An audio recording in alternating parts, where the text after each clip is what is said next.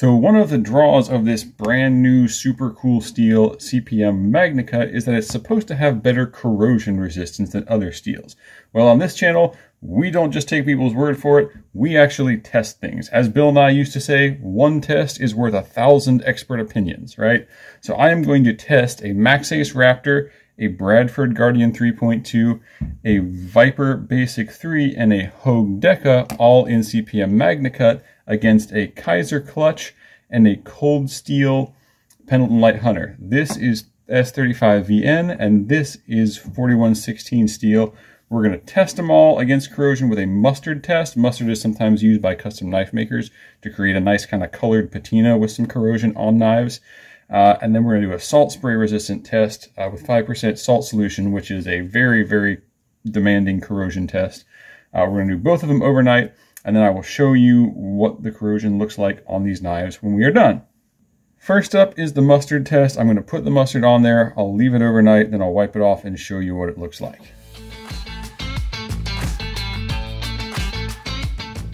The mustard test is done, and I've washed all of these blades in soap and water. So what you see left on these blades now is corrosion and not mustard. So we'll go through the blades, kind of see what we see. This one uh, MagnaCut, the Raptor here, you can see some discoloration. I don't see any brown spots or anything, but there is some discoloration. So there is some corrosion on this MagnaCut blade. Here is the Bradford Guardian 3. Uh, you can see that, that stone wash fish finish. A little bit darker of a color on that discoloration. Got some blue in there. Here is the Viper Basic. Uh, this is a Basic 3 in MagnaCut. Uh, so you can see a little bit of discoloration uh, and right on the blade edge there. Let me get that in focus. There is one little black spot right here. Hard to see. But it is there. Yeah, there you can see it. One little black spot, which is corrosion. Uh, again, that's on MagnaCut.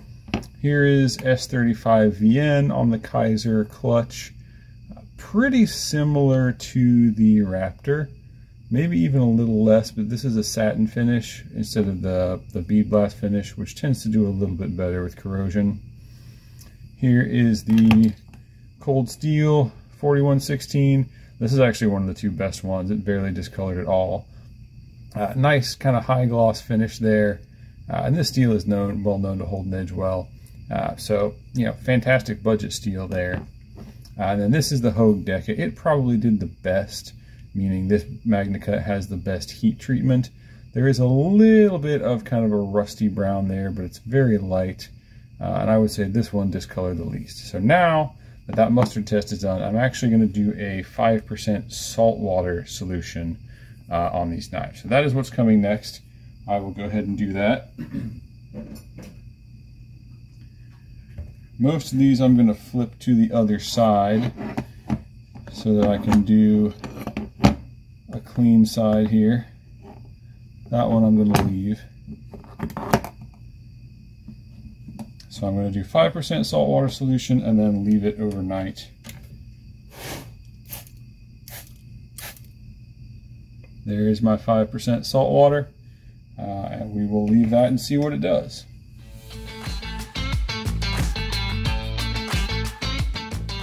It has been overnight, uh, about 14 hours, so I'm going to wipe off these blades now with some water and we'll see what we've got as far as corrosion. So we'll start with the Maxace. As I'm wiping this off, you can see there was a little bit of corrosion in the etching here. That is from the tools they use to make that etching and not from the knife itself, so I'm not worried about that. So you can see there's just a little bit of discoloration on the blade, uh, especially like right down here. A little tiny bit of rust in the surface. I don't see anything at all on the edge. So this even too may be uh, from tooling stuff from whatever they use to make the bead blasting. Uh, but overall, very, very good uh, resistance to corrosion there. Just a little bit kind of here and here. Let's look at the Bradford. So right away you can see there's kind of a spot down there. So let's clean this off. Again, this is tooling marks. That I'm not so sure. Let's clean this off and see what we have.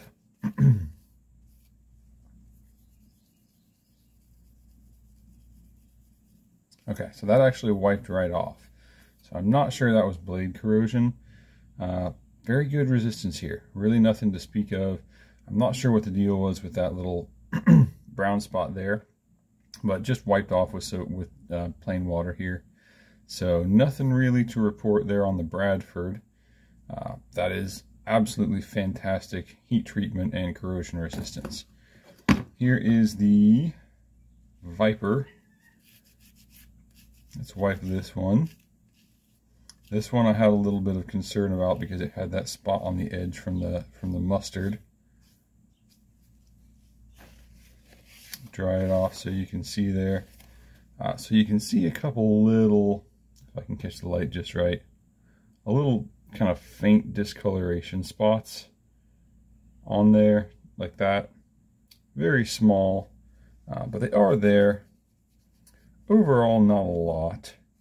Uh, nothing that would say I wouldn't take this knife you know, in the water, even salt water, uh, and then just wipe it off afterwards and it should be fine. That's, that's quite well done on that heat treatment. So this is S35VN, and this I think will show us quite a difference. Let's wipe that off, and then we'll wipe off. you can see there was quite a bit of um, spotting there before I wiped off the salt. You can see like a lot along the back there. You can see all those rusting spots. Uh, as I wipe them off, most of that comes right off though. Uh, let's look at the flat of the blade here. So you can see there are a few uh, spots that stayed. There's yeah, right there. You can see there's some there's some surface pitting a little bit there. Um, so definitely more corrosion on this one than on the MagnaCut blade. So these three are all MagnaCut. This is S35VN. So MagnaCut definitely better there. This is the uh, uh, 416, 4116 uh, stainless steel. This is pretty good. Uh, there's really not anything to speak of there. There was a little bit you could see uh, just kind of surface stuff before I wiped off the salt. So again, this is more closer to a stainless steel, like a kitchen cutlery steel. So you would expect better corrosion resistance on this. It doesn't have the edge retention of some of the others. I will I will do a test on it and put up some numbers there. But really excellent corrosion resistance there. Uh, and finally, we have the Hogue. Now, Hogue is known for doing fantastic heat treatment on their steels uh, and not, you know, getting getting the maximum edge retention out of their steels. Uh, and predictably, there is absolutely zero rust. Even before I wiped it off, uh, there was nothing. Uh, so when MagnaCut is properly heat treated uh, and it's done just right, absolutely incredible uh, rust resistance there. But as you've seen with the SPL pack knife, uh, you know, SPL pack knife rested in just regular Greek water. Um, so these ones handled salt water. This one probably handled it the worst. There's a little bit of, of corrosion there. It's still quite good, uh, but it's it's not what we were necessarily promised with MagnaCut. uh, all the way over here to the Hogue Deka, which is absolutely fantastic corrosion resistance uh, and really no rust at all. So you can see from the testing that not everything that you're necessarily told about corrosion is true with MagnaCut. Uh, it makes a great deal of difference how well the MagnaCut was heat treated. Uh, so the Viper did pretty well. Uh, the Hogue Deka definitely did the best. Hogue is known for heat treating their steels very well, and it's definitely the case with their MagnaCut. This resisted rust probably the best, definitely the best of the MagnaCut. Uh, but the cheap you know, $15 cold steel Pendleton Lite Hunter in 4116 uh, actually did the best with corrosion resistance. And uh, this holds an edge like the best of these knives. In my uh, edge retention testing, it did 450 plus cuts, uh, and it was still holding a great edge. Uh, so, just goes to show you that it doesn't always pay to spend the most money. Sometimes the best deals are relatively inexpensive knives.